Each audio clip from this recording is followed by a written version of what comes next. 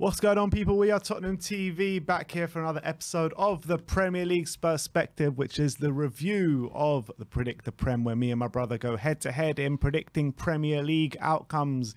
And the way the scoring works is five points for a completely correct score, one point for a correct result, and the star man as well, which is five points for a goal and three points for an assist. And once you pick a player, you cannot pick them again for the entirety of the season. The scores on the doors at the moment are four two to Sim, uh, and with another big weekend of Premier League action. Let's get straight into it. Let's start off with the first game of the weekend, which was Aston Villa against Everton in a very poor game at Villa Park, with two very poor sides coming up against each other. It did finish 2 1 to Aston Villa on the day. Sim went 1 0 to Villa. I went 1 1.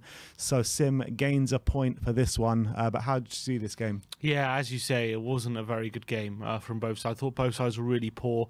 Um, just one was poorer than the other. I think that was the general gist of how things played out. Ollie Watkins um, with two assists, and I He think he had a, yeah, he had a pretty decent game. Danny Ings with a nice Picked finish. him on the wrong week, didn't you? Yeah, honestly, got two assists this week. Didn't even start last week. But um, Danny Ings uh, opened the scoring with a really nice finish, and then it was kind of just trudging along. Everton didn't really have a route back into the game. They had Demarai Gray, I think a front three of Gray, Gordon, and um, I can't remember who the other player was, but like just not a very good front three, and it definitely showed. Villa pretty much dealt with it with ease, and um, they got the second late on when Deer came on and just about squeezed in a second, and then it was actually funny though because that new signing for Everton, Onana, came, comes on, does an awful mistake in the first like minute or so, leading to Villa's second, but then he's turned out to be Everton's biggest threat in the last uh, five minutes, and he got a really good assist for Digne's own goal, and um, he was there, but he he looked like most likely to. Um, maybe bring uh, Everton back in the game, and they nearly did right at the end. They had a couple of opportunities to make it two-two, but it was a bit too little, too late. Um, but I think watching both these teams, I think both these managers could be under pressure like very soon. Completely agree. And uh, back on Luca Digne for a second, I believe his last two goals in the Premier League was um, first of all the own goal against Aston Villa um, for Everton, and last year. Uh, his last goal was an own goal for Aston Villa against Everton. Uh, Yeah. so it's funny how the way things work out. yeah, how it? the footballing world has has a way of uh, coming around like that a lot of the times. But yeah, look, Lampard two start off the just escaping relegation last season by the skin of his teeth, really. Uh, two defeats now. Um, haven't had look, they've lost Richarlison, haven't really replaced him um, so far. Do- Dominic Calvert-Lewin's out for still another month at least. Um, they're looking to make some signings, and I think Onana that does look decent. But I mean, is he how how much pressure is he under? Do you think? a lot, a lot of pressure, and um, they just don't have the squad to to cope uh, with the Premier League week in week out. I don't believe they do. I mean, they're looking at Anthony Gordon as pretty much their main man now, which is crazy. Uh, talk about a player coming through the youth, and yeah, look, he's a good player, and apparently he's off to Chelsea or something They now. just so, rejected I a mean- bid, oh, forty million.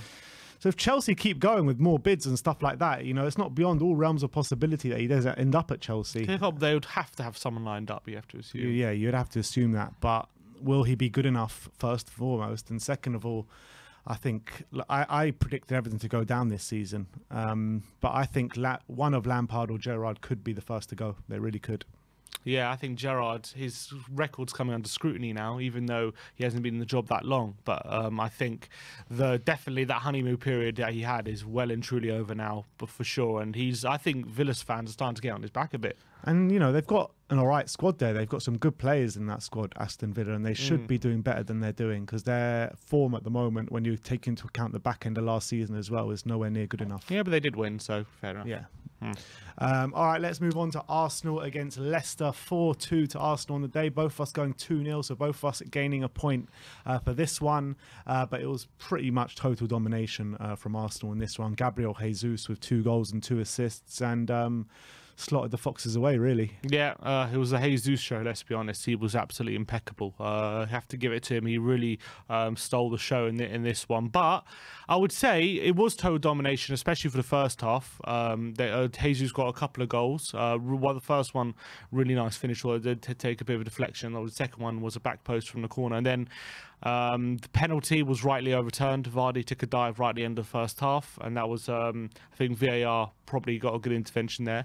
But in the second half, I think there were a few chinks in the armour for Arsenal. Obviously, Saliba with a really poor own goal, um, which was, uh, w- you know, which was a miscommunication with him and Ramsdale, and that and that got um, Leicester back in the game. And then Arsenal may potentially getting a bit fortunate back on the other end because Ward making an absolute cl- uh, clanger um, for the third goal, like within it was 30 seconds. look, we'll give you a goal if you give us a goal, kind of thing. Yeah. it's just like so frustrating. Every time Leicester scored and tried to get back into the game, Arsenal just went up the other end and scored. Yeah. Um, so I think Ward, yeah, I think Ward was, uh, he, what was he doing for that third goal? Going with one hand and just, it was an absolute calamity uh, from him. They went 3 1. Then Leicester got, again got back in the game. They brought on Iheanacho, Daka, they put some firepower on. Madison was getting more involved. And then um, obviously, yeah, they got they got the um, they got another goal, which I don't think Ramsdale covered himself in any glory with that finish as well. That was a poor, poor piece of goalkeeping from my point of view, went under him. But again, 30 seconds later, later Arsenal go on the other end, a really, really good goal by Martinelli. So I think Arsenal. It's a bit of a weird. It's like they've had a, obviously a very good start to the season, two wins out of two, um, and two I think performances where they deserve to win probably. But you'd also have to say, you know, in the Palace game, they were very much under the cosh for large periods, and then in Leicester, they had some they had some clangers in there, and they had um, some chinks in the armour. So good start, but I think definitely uh, work in progress in some ways for Arsenal. Yeah, it seems like with Arsenal so far this season, both games is same kind of theme where in the first half they go full pelt, play really well. In the second half they come under the cosh a little bit. Hmm. Um, I think they need to figure out a way of how to play for 90 minutes because we haven't they seen don't. that just yet. Yeah, let's hope they don't. um, but anyway, let's move on to Brighton against Newcastle. It finished nil nil. Sim went 1 1. I went 2 1 to Newcastle. So Sim gaining another point here. Uh, what did you make out of this game? First Yeah, of the season, I yeah, I wasn't watching it, but um, I from what I saw, Brighton were the very much the dominant team. Yeah, Nick. Pope was uh, the more um, busy goalkeeper. he Really, really good performance from Nick Pope in this. Yeah, game. he made some really good saves, Mm. didn't he? And it shows how important um, having uh, that new goalkeeper signing could be for Newcastle. Um, but yeah, I mean, uh, I think uh, it's a point that both teams, I don't think, will be that disappointed with in the grand scheme of things. Uh, maybe it was the heat, you know, contributing to uh, maybe the, the nil nil performance, um, nil nil. But um, I think, but I think both teams. It's a decent point for both, and I think Eddie Howe will be fairly happy going to a difficult away ground like Newcastle, um, Brighton, and getting a point. And I think Graham Potter will know how well Newcastle are playing right now. So even though they probably should have won, he's not going to be that unhappy with the I point. I think you've got to give credit to Brighton for shutting out Newcastle because they're clearly one of the four teams in the Premier League when you take into account the second half of last season as well. So to keep them out is um, is I think uh, they'll be proud of that performance, Brighton. Uh, moving on to Man City against Bournemouth, finished 4 0. Sim went 3 0. I went 4 0. So the first five pointer of the season comes my way. Uh, Sim gets a point as well for this one. And you know what? It was 4 0, but before Man City scored their first goal, it literally could have been 6 0 um, to Man City. It was an onslaught in that first half. And the game was over at half time 3 0. Um, and Man City pretty much took their foot off the gas for that second half and strolled through to a 4 0 victory.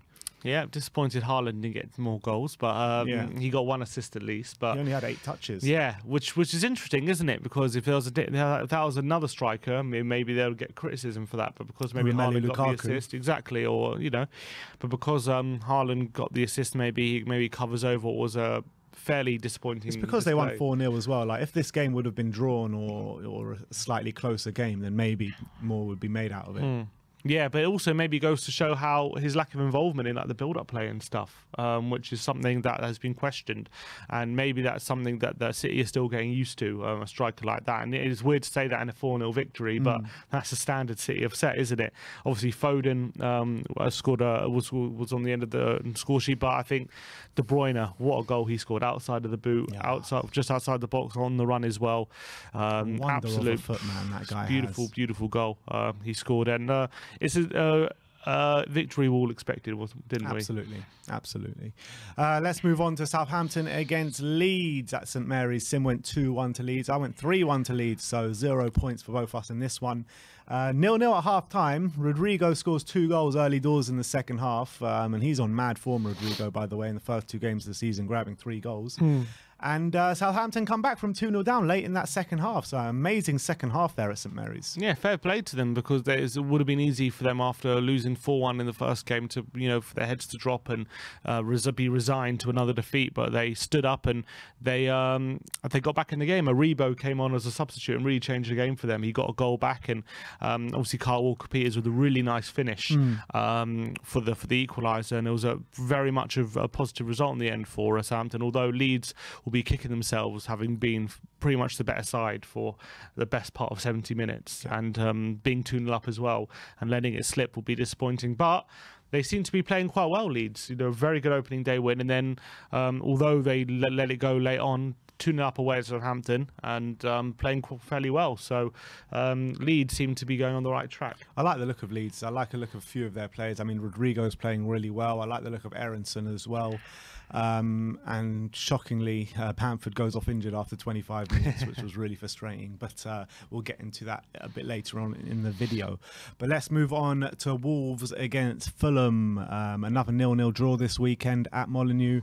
Uh, Sim went 1-1, so he gains a point. I went 1-0 to Wolves, uh, so I didn't gain anything there. But this game is going to be mostly spoken about for the missed penalty from Aleksandar Mitrovic in that second half, and that would have gone on to get Fulham three points. So unfortunate mm. there, really.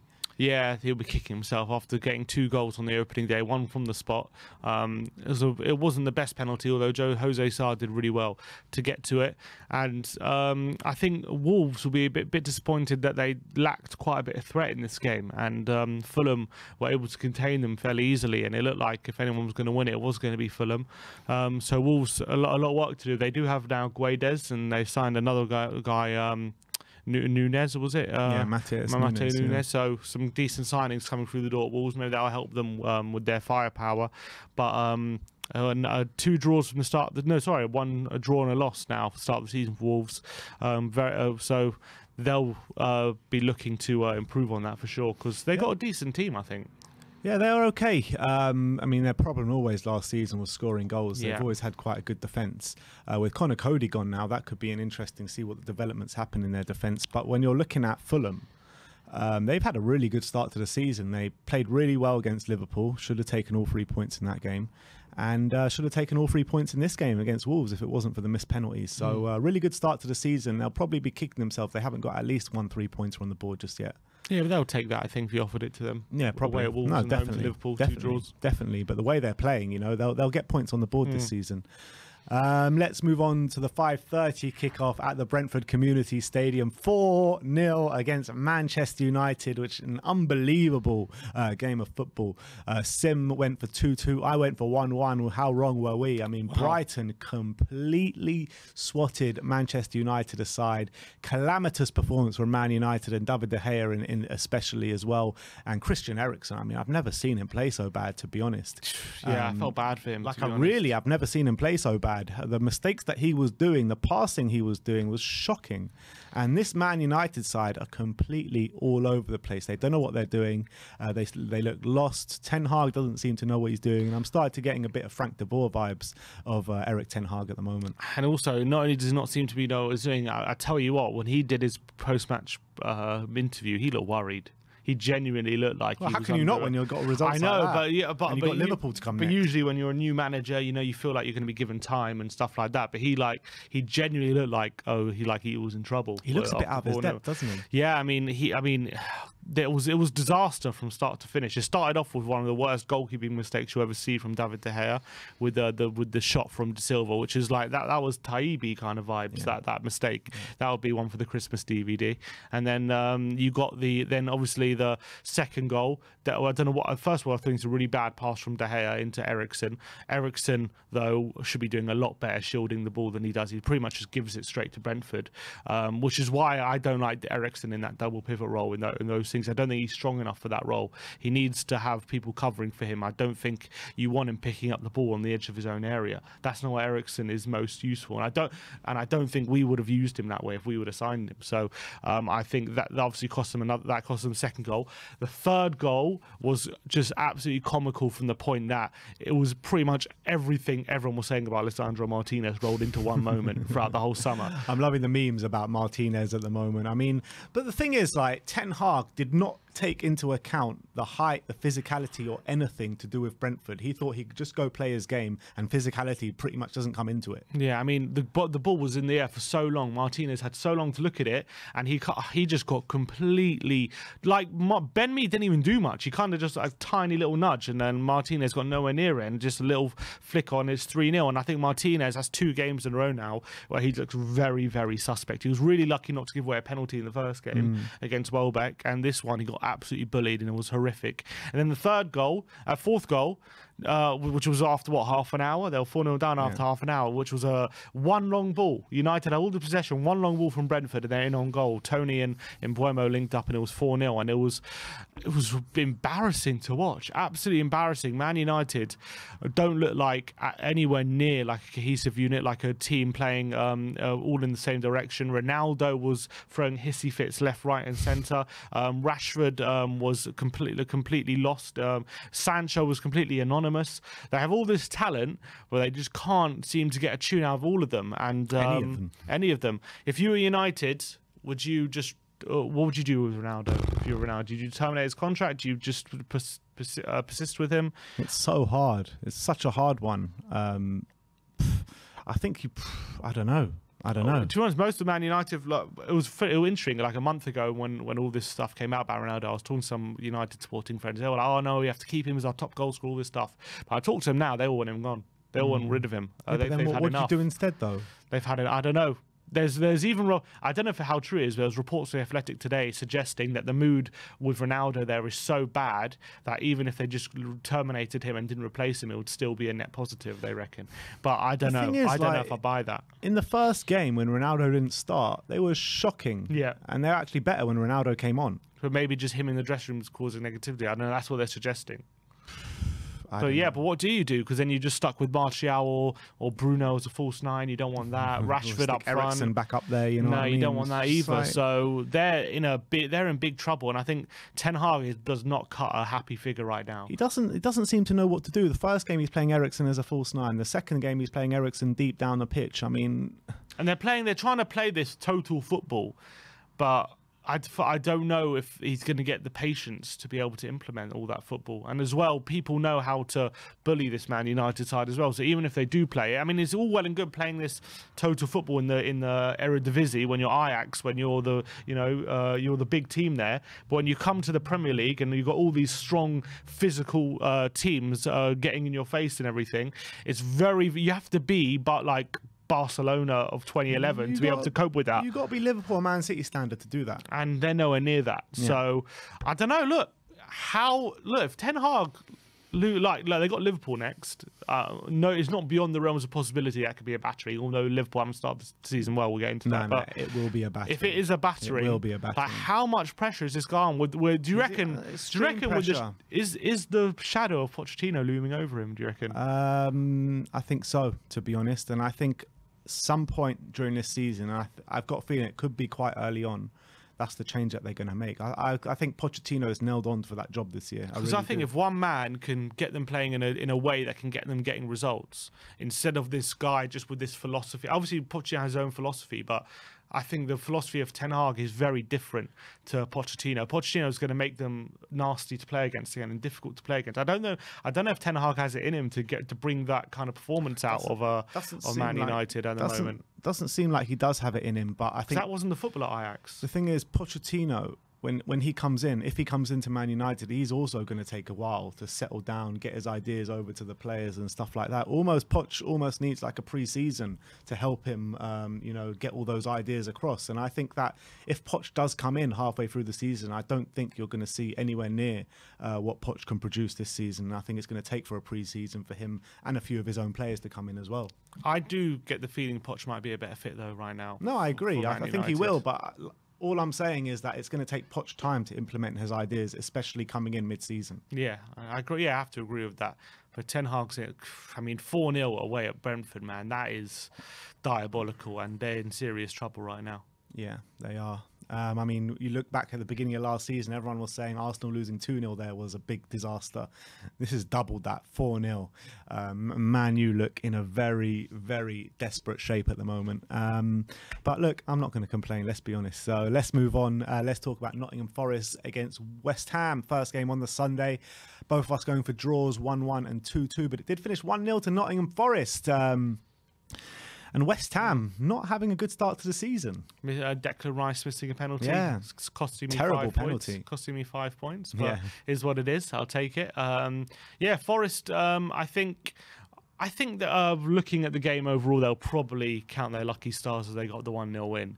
Um, they played well, uh, given the fact that they're a proto team against a decent side like West Ham, and they were pretty strong. But West Ham, I think, hit the bar twice from Fornals and from Benrahma. They had a goal chalked off um, for a foul by Antonio, which was a bit of a stupid foul from him, um, uh, which uh, obviously Benrahma went on and scored, and then but but they pulled it back because Antonio did a foul off the ball, um, and it was probably the right decision, but I don't think it was one which materially affected the goal as such. It was just that it was a stupid foul to make off the ball. Um, and so they got a bit lucky there. And then obviously they got lucky with a missed penalty. So I think West Ham be kicking themselves. They didn't get anything out of this game. But yeah, it was that. Two um, lost to City and now Forest. So two uh, And they haven't defeats on the bounce. season haven't have they? Um, I, I'm taught, we know we have a family member who's a West Ham fan and he's very unhappy at the moment with how things are going West Ham. I think a lot of West Ham fans are unhappy. Moyes seems unhappy as well with Which- the transfer business that has been done. It surprised me because you look at the business like Scamacca in Cornet and you're thinking those are decent signings, Mm. but I don't know. Maybe they think they need they haven't done anywhere near enough business. When you're looking at last season, um, they would have won Europa League if they had a more beefy squad, in my Mm. opinion. Um, and I think that's what let them down is the kind of no strength in numbers there for West Ham, and um, that's what they need going into Europe this season again with the Conference League. Uh, they want to push for the Europa League as well um, in the Premier League, those kind of positions. So they need a much more beefier squad if they're going to compete on those levels. Yeah, comp- uh, yeah, especially with uh, as you say, they're in the Conference League. I don't see them having going deep in that uh, com- competition and challenging for top six. Like it has to be one or the other. I Mm, reckon. Exactly. Uh, let's move on to Chelsea against Tottenham at Stamford Bridge. An unbelievable pulsa- pulsating game at Stamford Bridge. Both of us going for 2 1 to Spurs. Did finish 2 all. Um, and you know what? It was a really good game of football. We didn't play well at all, to be honest. Chelsea pretty much deserved the win. But you got to give it credit to Spurs for plugging in there, keeping with the faith, and uh, getting that goal right at the end. Yeah, shit housing our way to a point, and um, that's absolutely fantastic when you're going away to Stamford Bridge. I think taking a point off your top six rivals away from home, especially with the last minute goal, has to be seen as a positive. But there will be concerns uh, with the way we played and how easily Chelsea were able to dominate uh, dominate us, and how they were um, able to get so many chances off us, especially uh, in the second half. So, um, and they had just to- total control in the first half. So that's something we have to work on, and something that Conte has to be very wary of. But I think we can also be proud of um, the strength and depth that we had to, to change the game, and the spirit and mentality we showed to stay in the game and um, battle battle for a point and come come away with a point. So there are definitely positives and negatives for Spurs to take away from that, but um, probably more positives in the end. I think it's positives as well, and I think that our hardest game of the season is out of the way. I look at Stamford Bridge being our hardest ground to go to. Uh, when you're looking at, I know people will be like, "Oh, what about Liverpool? What about Man City?" But I think the, the way those teams play their football plays into our hands a bit more, um, and I think the way that Chelsea play their football is historically as well. Um, you're looking at probably the hardest game of the season, so I'm happy that one's out the way, and uh, we got came away with a point as well. So you've got to look at the positives. Uh, but let's move on to the last game of the weekend, which was Monday Night Football at Anfield. Uh, Liverpool against Crystal Palace, which finished 1 1. Uh, unbelievably, Sim went 3 1 to Liverpool. I went 2 0 to Liverpool, and that just wasn't the way it panned out at all. And I was actually disappointed with the way uh, Liverpool played yesterday. They do have a number of injuries. You know, Thiago, Keita was on the bench, uh, Matip and Konate are out as well. And, um, you know, Liverpool actually had so much of the ball, so much possession, but they just didn't do anything with it. They were just huffing and puffing, getting crosses in the box. Uh, Palace ultimately getting most of them away. And uh, Palace go on and score from a really good break. Um, and, you know, against Liverpool, that's always a danger with the, with the line that they play, especially when they don't have their first choice defence out there with Nat Phillips playing yesterday. So, um, unbelievable counter attack and Wilfried Zaha slotting it really well. But once it went, once Liverpool went down to ten men with the stupid headbutt from Darwin Nunez, I thought Liverpool actually looked good and they, they could have got that win. Yeah, I think Liverpool will be very, very, very frustrated with how that get, this game has gone. I think for the first half, they were very dominant, and I think they were actually created quite a few chances. Didn't do anything with that dominance though. They really. did. They hit the post. No, Darwin Nunez Yeah, hit the post. he had some chances. I think Trent was creating chances as well. Salah was a bit on the periphery, but I think Salah they was anonymous. Yesterday. yeah, I th- but I think um, I think the stat is if you take the second half of Fulham away and the first half of Palace um, at home, they've conceded two shots. In in uh, in in total, and they've both been goals. Hmm. So there's got to be a source of frustration that they've only conceded two shots and they've been goals. But look, Palace, to be fair to them, defended really well, and they when they got their chance to get forward, and they and they, and they took it. And it was a great finish from Zaha, and he was always a danger, even though uh, you know they didn't really find him up until that one moment. Um, you, you always know if you do find him in on goal, he has the pace to get away from defenders, and he's got a good finish on him, and obviously it was a good goal. Um, the second half came around, and um, Liverpool might well have got back in the game quick if it wasn't for stupidity from Nunez, as you say. I don't know what he's thinking. It wasn't even one of those headbutts where it's like he puts his head close to Andersen. He proper headbutted him. That was like one that will probably hurt tomorrow um, today for Andersen. So it's absolute stupidity and a lack. It was just naivety and a lack of uh, uh, cool. Like he just lost his cool completely. Nunez. Maybe it's because he knew he was uh, Andersen was getting the better of him for most of the game. Um, that probably um, He's uh, a top player, by the to way. it. Joachim Andersen. I love him. Yeah, he had a great first game as well against First Arsenal. game um, and this game, I thought he's brilliant. Uh, ball playing ability, strength in the air. I mean, how good is he with his aerial ability? His his passing though is Um, fantastic. passing's He's got brilliant. a I mean- fantastic long ball. I'm telling you right now, I'll take him at Spurs um, to compete with Eric Dier for that middle spot. Yeah, he's he's had a really strong start to the season. But then obviously Diaz gets a goal out of nothing. What a goal. Hmm. individual quality gets him back in it. And if anything, it looked like Liverpool were going to go on to win it. I think Carvalho, Salah all had a couple of chances, but then Zaha does hit the post near the end. So uh, as much as Liverpool, He's got to be doing better from that. Zaha. Yeah, he had to score. So as much as Liverpool might be annoyed they didn't get the win, they all might also be a bit relieved they didn't lose. So Mm. two draws to start the season. Is the title gone already? Not yet, not yet. No, yeah. With Man City standards, you would never know. Yeah, look, it's it's coming harder for them, but it's not gone just yet. And I think that with now with Nunez out for what's he going to be three, games, minimum? And With Jota injured, Firmino injured, like running out of uh, options at the moment. Maybe United do have a chance this week. Yeah, you never know. But let's move on to the star men. Like I said, it's five points for a goal, three points for an assist, and who can't pick the same man again. So Sims used his Erling Haaland. Yeah, Um, disappointed. he gets three points for that though, because he did get an assist, but only nine or eight, eight or nine touches throughout the game. What happened with him? Yeah, he just wasn't involved in the build-up. Um, he's just what he is one of those. Maybe that's why City have been so um, okay with not having a striker like that because they know whoever they play full nine is going to be very much involved in the in the game, and it's not going to have a game where he's got eight or nine touches. I think when you're playing against the last defender or you're getting it in the box and trying to be that striker, and you, and and defenses are crowded, it's maybe going to be very very difficult to get that so many touches, and maybe that's the problem. He's going to maybe um, get more joy against teams who um, have a higher line, probably. So um, maybe like when he when he plays Liverpool, he's going to get more joy. But in these games, though, not many difficult. teams are going to play such a high line against Man City. I know. That's why it's going to have to be some adjustment from him, I think. Hmm. Uh, but he did get an assist, and it was a decent assist, to be fair to him, on Gundogan. Nice through ball. So fair play to him for that. But um, he'll be also very angry at Foden for not squaring it to him when he could have had a tap in, um, Hmm. and that could have been a goal and assist. And then it's a different narrative, isn't it, if that happens? But um, but he was uh, what didn't have the best game. Nothing to worry about. Uh, to be honest, just yet, you know, he gets a goal uh, in his first game, assist in his second game, so keeps up the stats and keeps up the good form. Bit annoyed. I wasted my Haaland uh, star man on an assist, but it is what it is. And I went for Patrick Bamford, um, who went off injured after 20 minutes, which was so frustrating because obviously Leeds uh, scored two goals in the game. Probably could have got more if Bamford stayed on the pitch, but um, he goes off injured, um, and that's very frustrating. Very frustrating. There we go. But you know, you still got one over me picking Haaland this week. That uh, was Haaland? Was that our first star man of the season to get a return? Yeah. Yeah. Yeah. There you go. All right, cool. Let's uh, move on. Well, that's it. That's it for predict the Prem and uh, the perspective this week. We'll be back later on in the week where we predict all the Premier League fixtures for this weekend. Let me know in the comment section below your thoughts. Who's going to come out on top this year? Sim is currently four points clear early doors.